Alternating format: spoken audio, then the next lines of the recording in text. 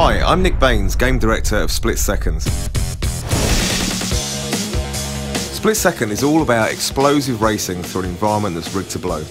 In this video, we'll be showing you all about power plays.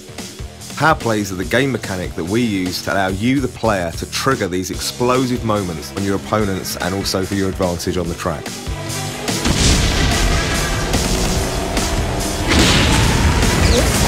You earn the ability to trigger these power plays as you're driving around by drifting, overtaking, jumping, slipstreaming.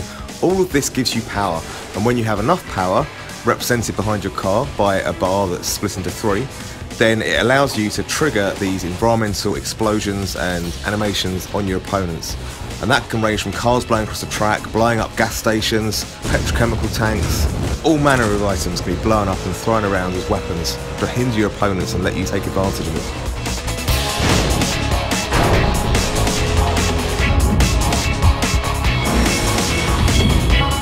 Power plays aren't just used as weapons either. You can actually use them to open shortcuts for yourself, to cut corners, and to open up new routes through the track, which uh, you know can help you shave off those essential seconds to overtake your opponents. Finally, if you manage to fill up your entire power bar, then we unveil the super power plays, which are much, much bigger in scale.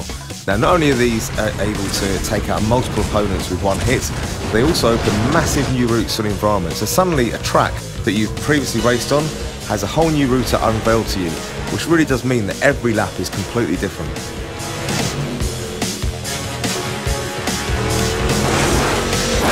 By using a mixture of the smaller power plays to take out single opponents, using shortcuts to cut corners and give yourself an advantage through the race, using route changes to physically change the entire layout of the track. Every race through Split Second feels completely different, and it's all at the control of you, the player.